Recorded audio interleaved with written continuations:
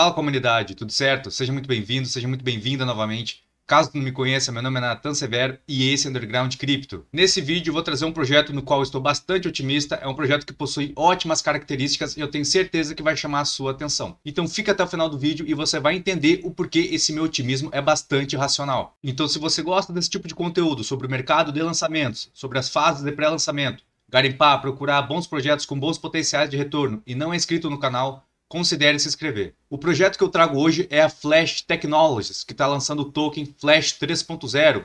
Em suma, a Flash Technologies é um ecossistema de aplicações cripto. Esse ecossistema possui sete aplicações, dentre elas a Flash Transfer, a DEX Flash, a carteira Flash, que é a Flash Wallet, o stakeamento da Flash, que é a staking do token Flash, a Dead Wallet, que é uma ação pioneira na carteira Flash, a Flash Pay, que é o método de pagamento da Flash Technologies, a auditoria Flash e a Flash Launchpad.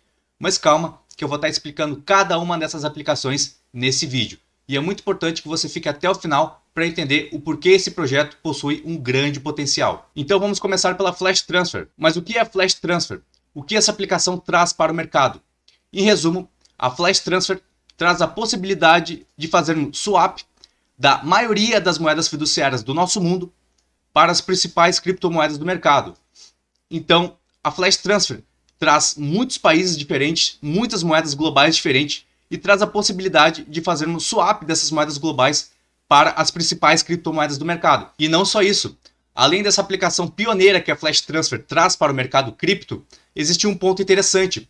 A Flash Transfer ela possui uma parceria oficial com a Binance, uma parceria on-ramp. Isso quer dizer que quem faz a integração de pagamentos da Flash Transfer é a própria Binance. Isso é muito bom, pois nós conseguiremos logar a nossa conta da Binance diretamente aqui na aplicação da Flash Transfer.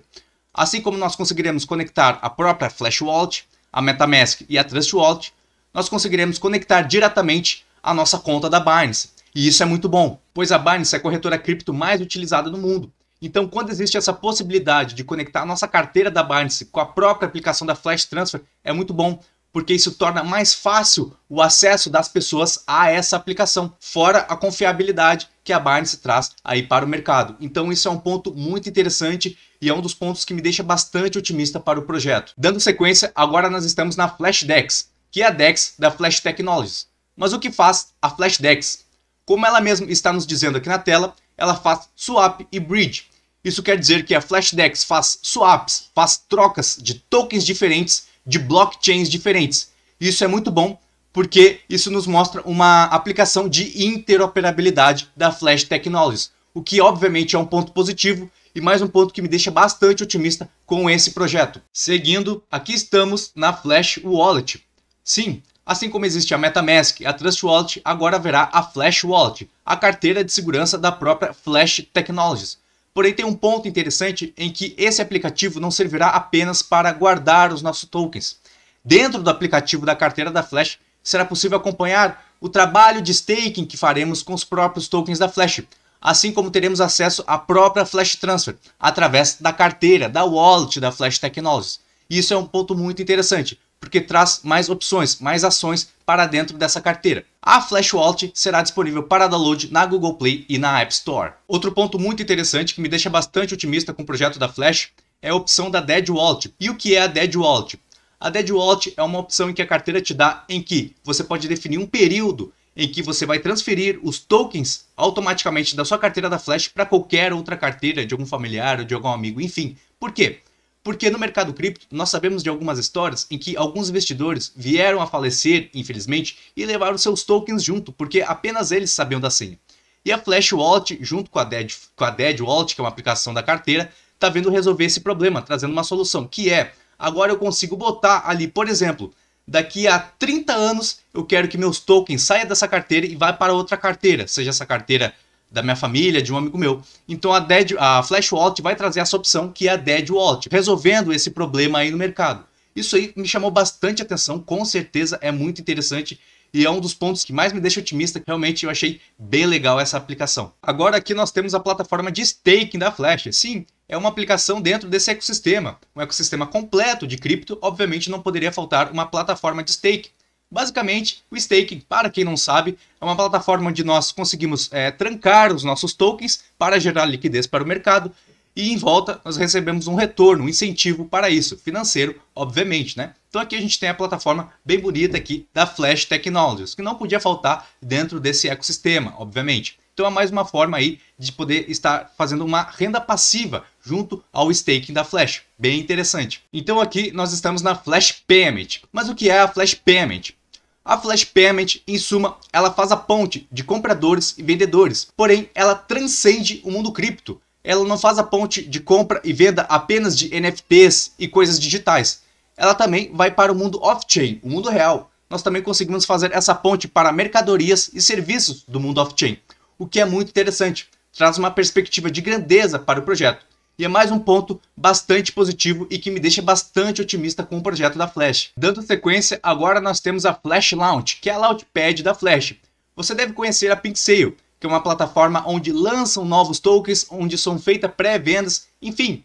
A Flash Launchpad é como se fosse a Pixel da Flash Technologies. Então sim, dentro desse ecossistema da Flash Technologies, de Flash Payment, é, Flash Wallet, Flash Transfer, FlashDex, também terá a Flash Launch, que é a Launchpad da Flash. Então, tokens farão pré-venda dentro dessa Launchpad, tokens farão lançamentos dentro dessa Launchpad, o que é muito interessante, que é mais uma aplicação que agrega dentro desse guarda-chuva de ecossistema da Flash Technologies. Dentre essas aplicações, por último, mas não menos importante, nós temos a Flash Audit, que é a auditoria da Flash. Sim, isso significa que uma equipe da Flash irá auditar, irá conferir, fiscalizar contratos de projetos já lançados ou que irão lançar. Então, provavelmente, os projetos que serão lançados na Launchpad da Flash Technologies serão auditados pela própria Flash Auditoria. Assim como outros tokens de outras Launchpads também poderão é, aderir ao serviço de auditoria da Flash e assim ter o selo ali da Flash Audit, tá? o que é muito interessante, que é mais uma aplicação dentro desse guarda-chuva de ecossistema cripto da Flash Technologies bem legal, bem interessante e soma bastante com as outras aplicações.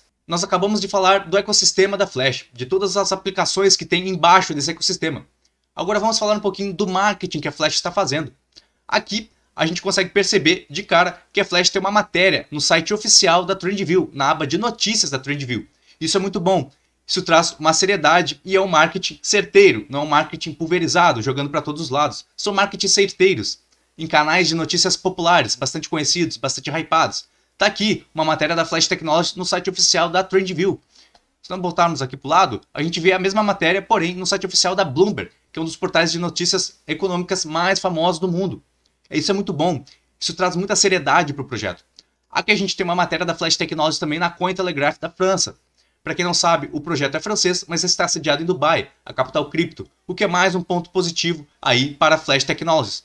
E não só isso, eles também têm uma matéria na Binance Feed, no próprio site da Binance.com, na aba Discover, que é uma aba onde aparecem novas inovações, novos tokens, novos projetos, e tem a Flash Technologies aqui, com o Terry Jr. fazendo essa ponte. E Terry Jr. é um grande marqueteiro aí, é, credenciado pela Binance para trazer novos projetos aí para essa aba de Discover do Binance Feed.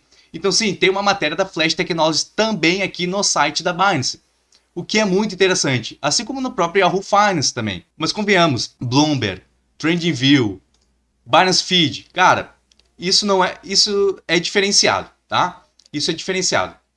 É muito bom, traz uma perspectiva de seriedade e de grandeza para o projeto, se somando com tudo o que já falamos aqui no vídeo anteriormente, tá? Então, essa parte de marketing está bem interessante. Isso demonstra que a equipe está investindo sim no projeto, está investindo tempo, está investindo capital, e isso é muito bom tá? Eu tô com uma perspectiva de grandeza para esse projeto. Muito interessante, tá bem legal e eu tô bastante otimista para esse lançamento. Outro ponto que eu acho interessante nós comentarmos aqui é que é uma equipe pública, né? É uma equipe relativamente grande e é uma equipe pública. Nós conseguimos aí acessar o LinkedIn e o Twitter dos principais envolvidos aí com o projeto da Flash Technologies, né? Que é bem interessante, isso traz mais confiabilidade para o projeto. Como se tudo que eu falei nesse vídeo não bastasse, nós ainda temos a cereja do bolo, que é a auditoria da Certic. Sim, o Flash 3.0 nem foi lançado ainda e já está sendo auditado pela Certic, o que é muito bom, é mais um ponto muito otimista e que torna muito realista a minha expectativa otimista com esse projeto, com esse lançamento e de fato é, eu estou com uma, perspectiva, uma perspectiva de grandeza para esse projeto da Flash Technologies. Mais um ponto muito positivo aí para o projeto. Tá bom, Agora que nós já entendemos a Flash, entendemos seu ecossistema, suas aplicações, vimos o marketing da Flash, entendemos que a Flash é um projeto que nós devemos dar um mínimo de atenção por conta de suas características diferenciadas. Ok, mas caso eu queira participar desse projeto, queira entrar nesse projeto, ele já foi lançado? Em qual fase de pré-lançamento está? Então, a Flash Technologies está lançando o token Flash 3.0. O Flash 3.0 abriu uma pré-sale e que ainda falta 6 dias e 4 horas para o encerramento dessa pré-venda. Então, caso tu queira participar dessa pré-venda, eu vou deixar um link aqui embaixo onde tu vai ser direcionado direto para essa mesma página que você está vendo aqui na Pixel. Dentro dessa página da Pixel você vai ter acesso a outras informações do projeto, assim como as redes sociais do projeto. Porém, as redes sociais eu deixarei também aqui no link da descrição desse vídeo, ok? Assim você tem um direcionamento mais rápido caso queira.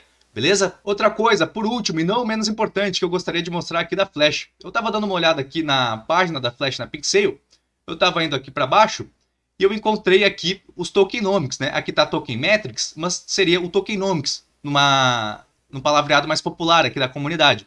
E olha o que nós encontramos aqui, Binance. Então aqui a gente vê que 1% dos tokenomics da Flash vai para Binance. Então peraí, tem parceria de integração de pagamento com a Binance e 1% do tokenomics vai para Binance. O que isso quer dizer? Não sei. Eu questionei o pessoal lá no grupo e a equipe falou que por questões contratuais eles não podem dar essa informação ainda. Porém, isso já me ligou alerta e agora eu já estou mais em cima do projeto ainda. Isso me deixou muito otimista com o projeto, porque 1% para Binance, é, cara, o que, que eu vou pensar, né? O que, que eu vou pensar? Enfim, Deixo aí a critério de cada um. O que vocês acham que pode ser? Deixa aí nos comentários. O que pode ser esse 1% de tokenomics para Binance? Deixa aí nos comentários aí que eu respondo todo mundo, tá? E vamos para cima. Então vamos chegando ao final de mais um vídeo. Gostaria de agradecer a presença e a participação de todos que acompanharam esse vídeo até o final. Lembrando que isso aqui não é uma indicação de investimento, é apenas a minha ótica otimista perante a esse projeto. Gostaria de lembrar também que temos live todos os dias de domingo a domingo, sempre após as 6 horas da noite, e sábados e domingos em horários alternativos. E se tu gosta desse tipo de conteúdo de venda privada, pré-venda, lançamento, pós-lançamento, acompanhar os lançamentos em live, garimpar, procurar bons projetos com bons potenciais de retorno e não é inscrito no canal, considere se inscrever que de alguma maneira eu vou estar tá conseguindo lhe agregar, beleza? E se possível deixar aquele like para ajudar o canal a crescer de uma maneira orgânica, tá?